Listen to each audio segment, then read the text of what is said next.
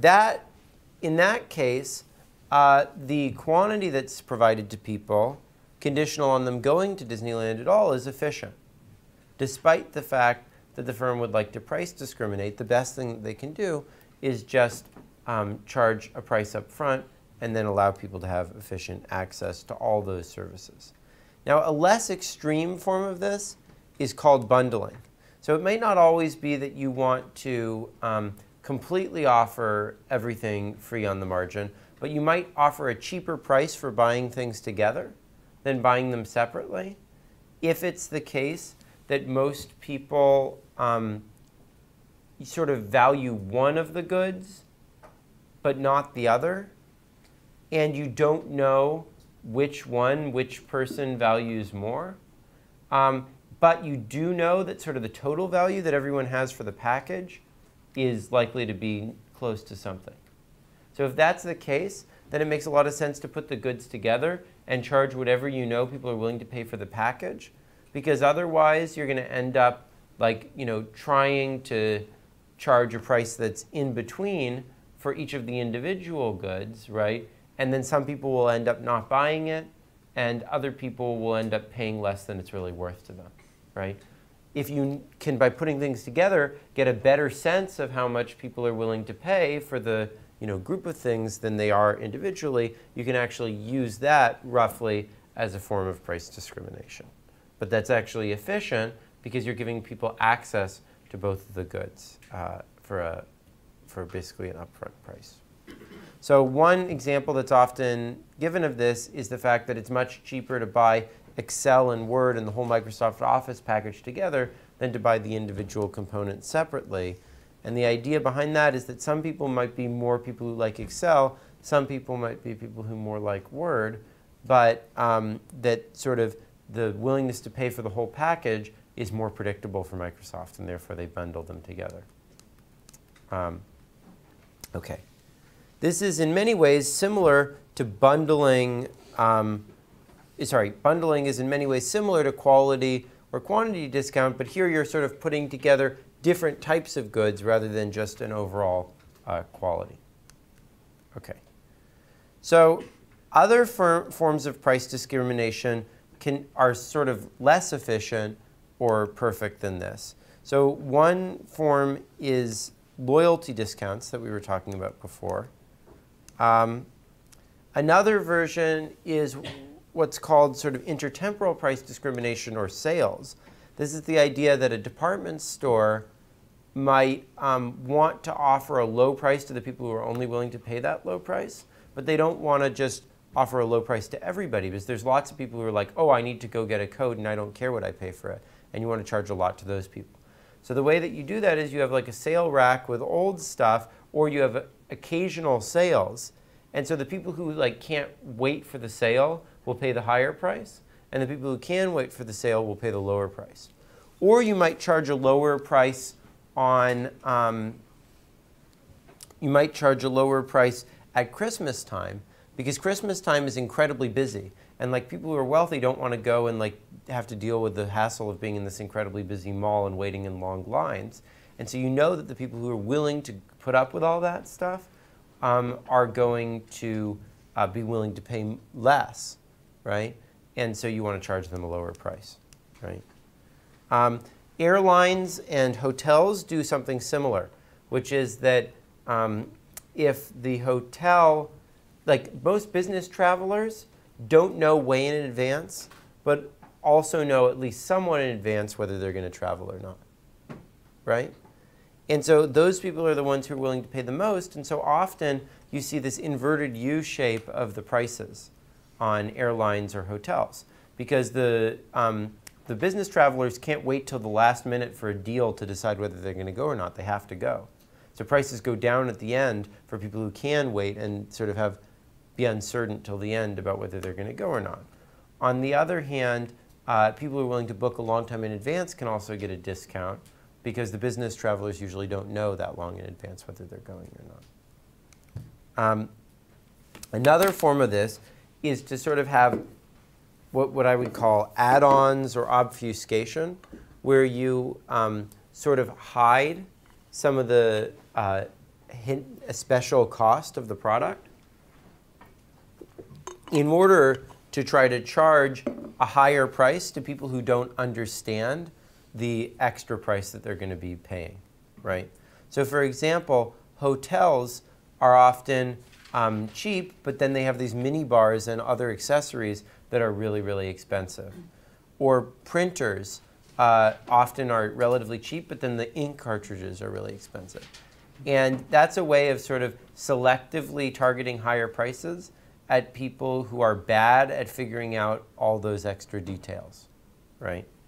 Um, and uh, it allows discrimination against people who sort of don't read the small print, right? Now, um, one of my favorite examples of this sort of um, pricing comes from Les Miserables, which was a, uh, a, famous book by Victor Hugo and then was turned into a musical. And what? And now a movie. When does it come out? Christmas? Yeah, I think it comes out at Christmas. Anyways, it looks like it's going to be a really beautiful movie that they're making out of it.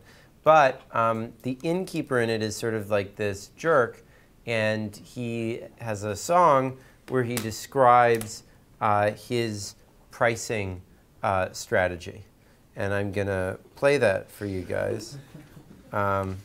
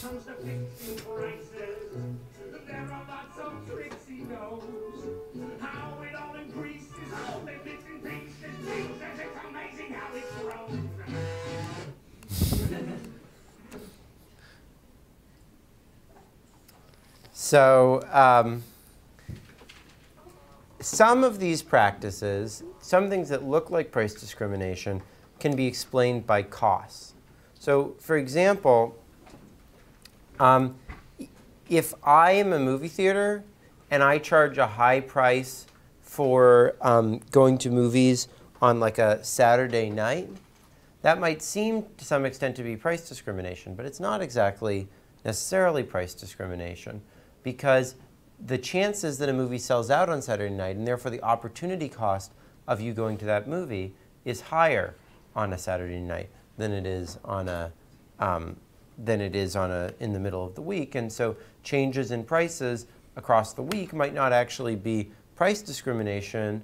Um, they might be, but they might actually just be the firm, uh, the fact that the firm's costs are changing. Another example of that is electricity prices are usually much higher in the middle of the day because um, that's when there's the peak of the demand for electricity, and they have to raise the price because otherwise the, um, the demand would be too high uh, and the system couldn't bear it, right?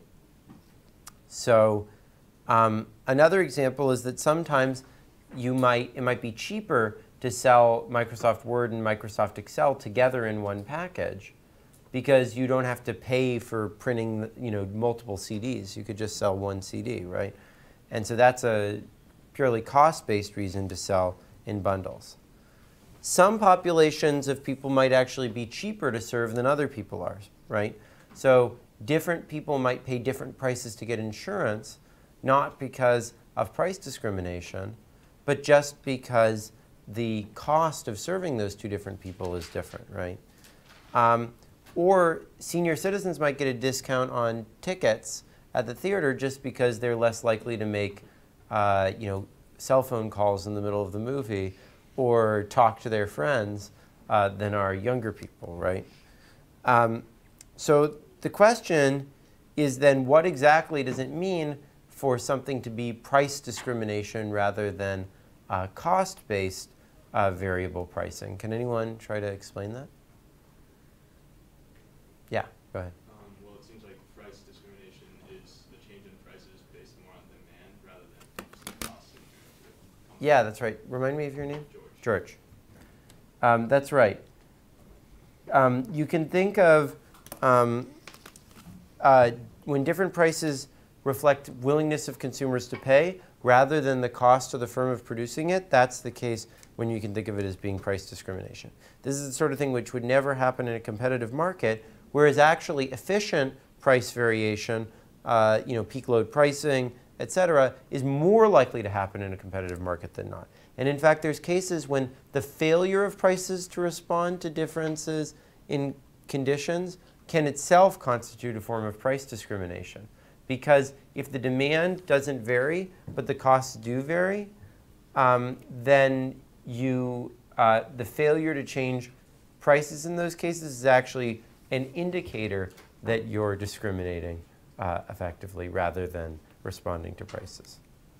Okay, so um, another imperfect approach to price discrimination is to group people together using some objective characteristic um, and to charge people uh, with these characteristics different prices, right? And this is very common in entertainment and transportation. Do, do people want to give some examples of that? Uh, yeah, King Solomon. Lot seniors get like discount cards and students get discount cards uh, for Yeah. buses and subways. Yeah, that's right. Um, also, libraries often have to pay more to have a journal than do individual people because they're going to be consumed by a large number of people and therefore they're going to be willing to pay a lot more. Uh, you can often get a discount in some areas for being a public servant or an educator. And in fact, this is a total ripoff because at a lot of like gyms in Chicago, I can get like some really low price because I'm like, you know, a public school teacher or something like that, even though I just qualify under their educator discount and I'm a professor, right? Um, prescription drugs are priced differently in the developing world than they are in the developed world. Home, there are different prices for home and office use of um, uh, software often. And there are lots of cases when uh, uh, various social programs are targeted at different groups based on objective characteristics that are hard for people to change, like giving benefits to people who are unemployed rather than just people who are poor for whatever reason, because it might be hard to change your unemployment status, or targeting um, money to, uh, well, giving taxes based on people's height, which is something that some people have proposed, because that's not as easy to change as it is to change your income. And we'll talk more about that when we talk about redistribution next week.